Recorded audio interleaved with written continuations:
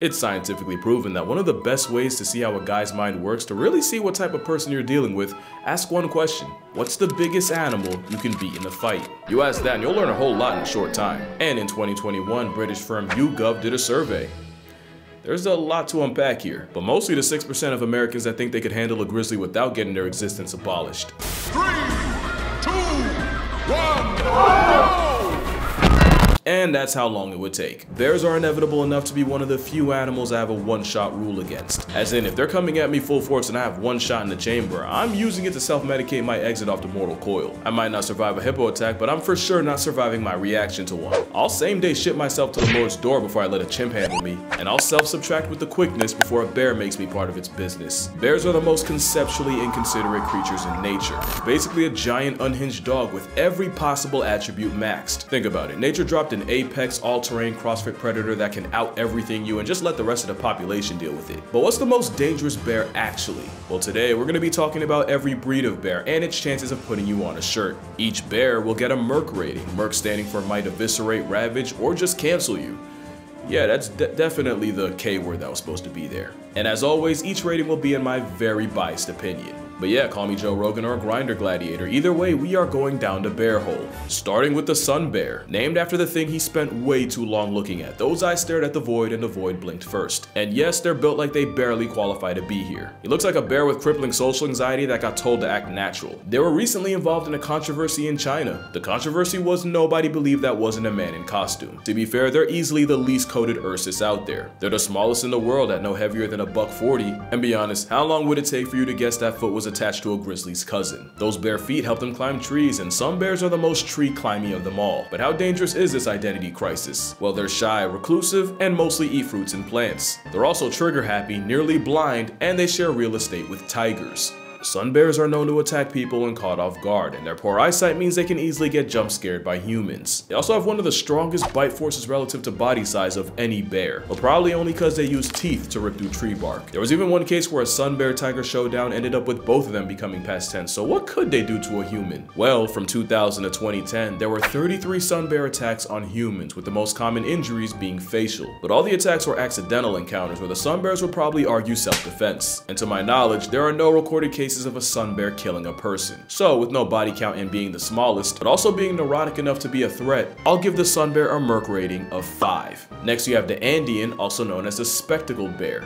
For obvious reasons, on paper he's the biggest land predator in that part of South America. Only technically, because only 5% of Four Eyes diet is meat. Like the sun bear, they're only really a jihad to fruits and plants. Also like the sun bear, the walking spectacle is very tree climbing, and they'll even build their version of a treehouse to sleep in. To be fair, you don't really have a choice when your hall monitor's a jaguar jaguar. But don't think Buddy's sweet because he got glasses. They've been known to take out llamas, cows, and even tapirs twice their size. But how dangerous are they to people? Well, in 2004, an Andean bear escaped from a Berlin zoo and made a beeline for the children's area. What followed was one of the most gruesome displays ever caught on camera. Viewer discretion is advised. Apparently the spectacled bear only has one human body on his record, and technically it was a hunter who shot the bear out of a tree only for the bear to land on him. I'm sorry, but if you fail physics that hard, you deserve to get packed up by Paddington. And yes, Paddington was indeed a spectacle. Spectacles are also the closest living relative of, yeah, the short-faced bear. Oh, the duality. But considering the only casualty was more to slapstick than a homicidal bear, I give the spectacled beast a Merc rating of 2.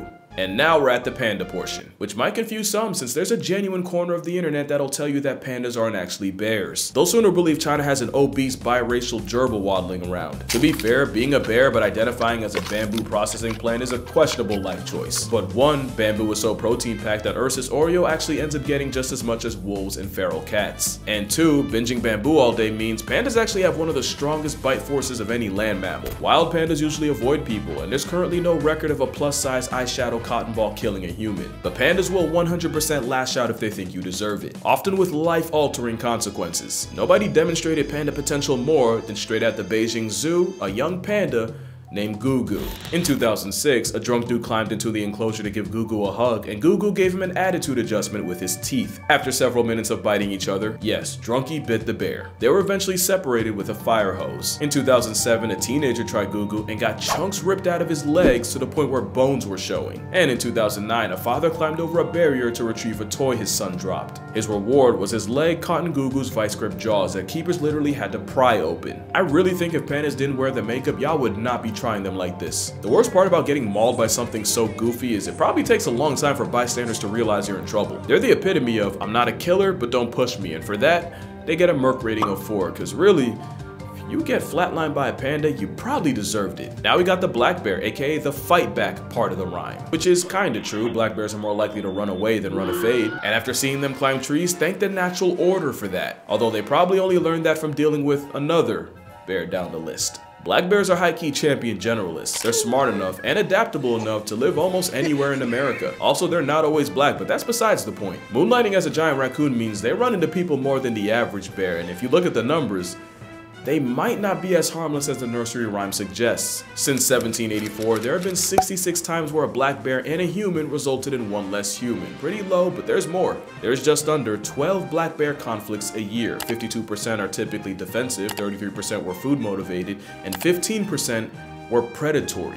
That number is interesting because that's actually higher than what you would see in brown bears. Folks now believe there's a slow but very real rise in predatory male black bears murking people. In fact, the first ever fatal black bear attack in California just happened last month. Male blacks, but black bears that is, they have a wider range which means a desperate down bad male is more likely to try his luck on a hiker. The last stat I have is 88% of black bear assisted census subtractions were predatory and 92% of those predatory pastimes were done by males. But when I say slow rise, we are still talking about one person getting clapped a year. Also, apparently none of those casualties carried pepper spray, so if you do that, hike in groups and put food and garbage away, you probably won't get cooked by Smokey. In fact, the majority of black bear encounters end like a Mormon liaison where neither side gets touched. So, they're flight over fight and statistically harmless. But they live in close proximity with people and are technically more likely to see you as free pizza than grizzlies. So I'll give them a 6.5.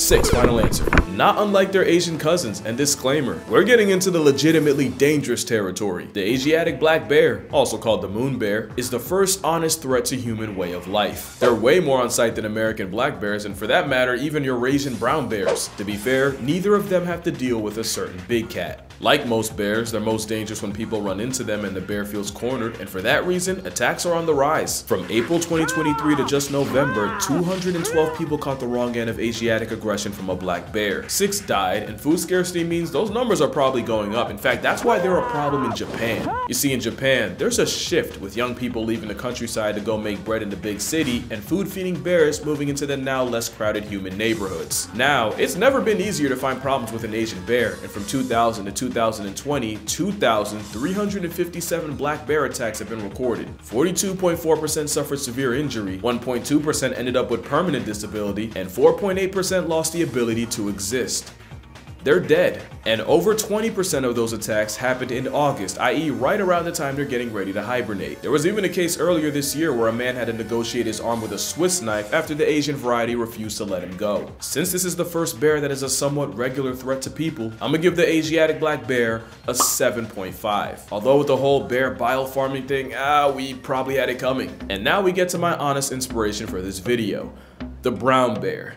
Uh, but honestly, first I'm gonna clear something up. The grizzly bear is a subspecies of the brown bear, kind of like how the Arctic wolf is an offshoot of the gray guy. The grizzly is basically a landlocked brown bear. They're further inland, and their grocery list is a lot shorter, which is why, even though they're the most famous, grizzlies aren't even the biggest bears brown and around. They're smaller than the Kamchatka. What? The Kamchatka bear dwarfs grizzlies, mostly because of the fresh supply of salmon they get from shacking up on the Kamchatka Peninsula, which actually has the highest density of brown bears on the planet. There's like 20,000 of them there. And of course, what y'all know about the Kodiak bear? Named after the Kodiak Islands nature was forced to vault it on. They can outweigh a grizzly by almost 500 pounds, and that's purely off the pescatarian. That is a whole mountain of a bear. Grizzly bears are smaller, but the higher competition and being gate kept from coastal calories makes them that much more aggressive. Which makes them, and I don't like to curse that much, my mom watches me, but that is a fucking problem. They're like a predatory Thanos. Your demise is inevitable if they greenlight it. They have jaws that can crush a bowling ball. Pause that mean, you're a high five away from balling like Emmanuel handle. I've seen them punk entire wolf packs out of food, and they might be the only thing alive that can choke slam a moose. There's only one video that truly encapsulates how fornicated you are if a grizzly chases you.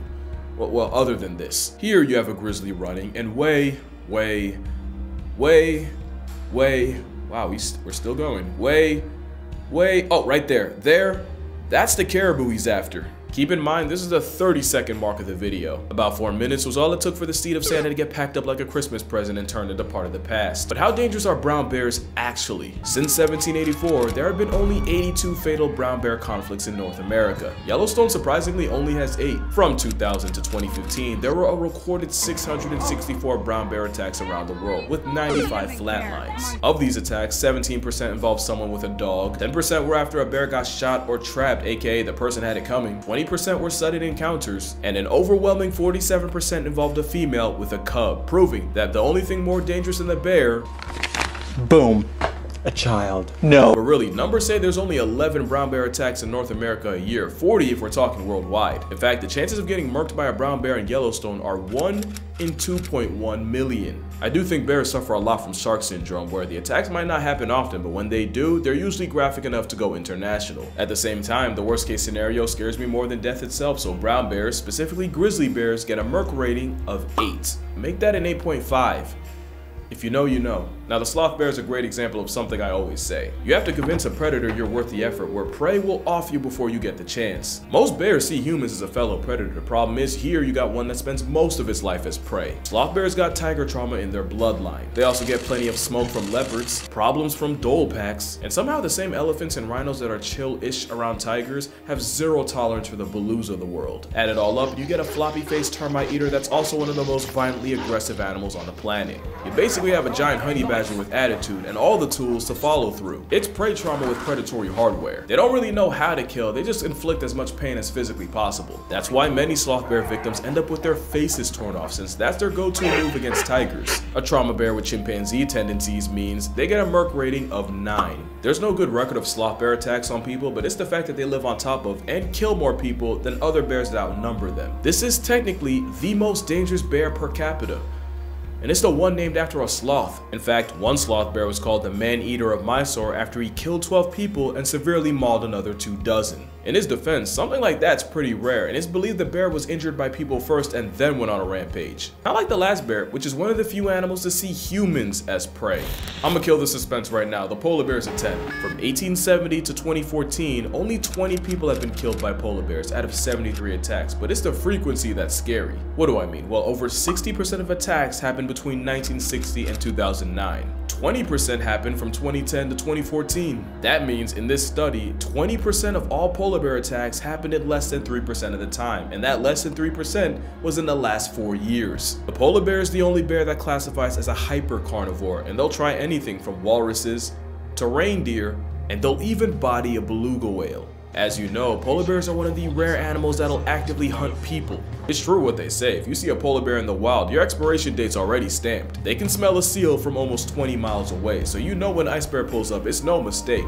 The Arctic op is such a threat, in Churchill, Manitoba, it's common courtesy to leave car doors unlocked in case someone needs a four-wheeled panic room from a polar bear. The same place, by the way, that has the Churchill Polar Bear Detention Center. And it's exactly what it sounds like, it's an air-conditioned temporary holding cell for polar bears that get way too comfortable around people.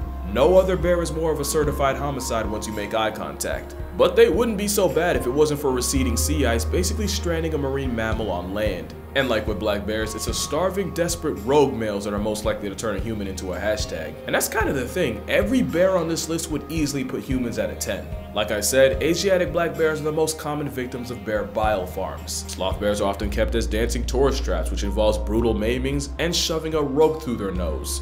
Literally, through it. And despite the memes, humanity has done more to pandas than for them. Also, there's the fact that most bears want nothing to do with you. Literally, one of the best ways to avoid a bear is to actually make noise to give the bear a chance to avoid you. Most bear brutalities come from a bear getting jump scared and making a decision. Also, there's bear spray, but bear spray is a lot like a seatbelt. You don't get into a car expecting to do a barrel roll down I-80, but the same way the seatbelt makes the worst case better, so does bear spray. In fact, you'll probably never use it. Moral of the story?